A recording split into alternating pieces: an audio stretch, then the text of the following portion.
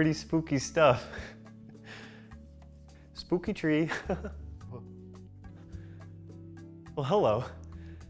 Welcome back to Tim Burton's Spooky Art School. I'm your host, Tim Burton.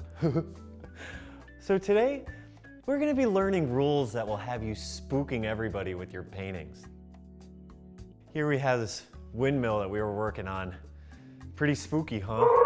Which brings us to the first rule of Tim Burton's Spooky Art School. Put it on a hill.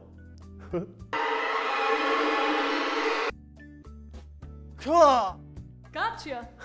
I was spooked a moment ago. Um, here in the Burton household, you never know when the spooks are going to merge. Honey, could you help me in the studio audience? Oh, what's that? May I paint you? Oh, of course. She's the spookiest person I know. Like this? Yes. Oh my. I'm scared. I'm like an old rag doll? I'm totally spooked. My spooky wife. Oh, spooky, spooky Ah, girl. ah.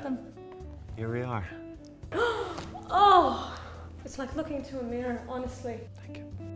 Which brings us to the second rule of Tim Burton's spooky art school. Bulgy eyes. Hmm, I love it, sweetheart. I must be going though.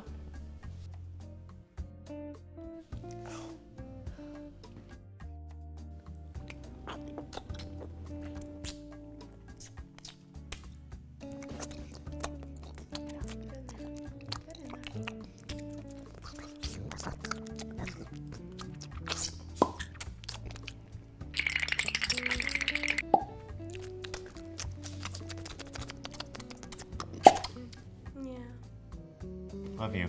Goodbye. Goodbye. So next week we'll be working on this spooky graveyard scene. Where we'll play with some silhouettes, which bring out the darker, spookier side if you ask me. See you next week.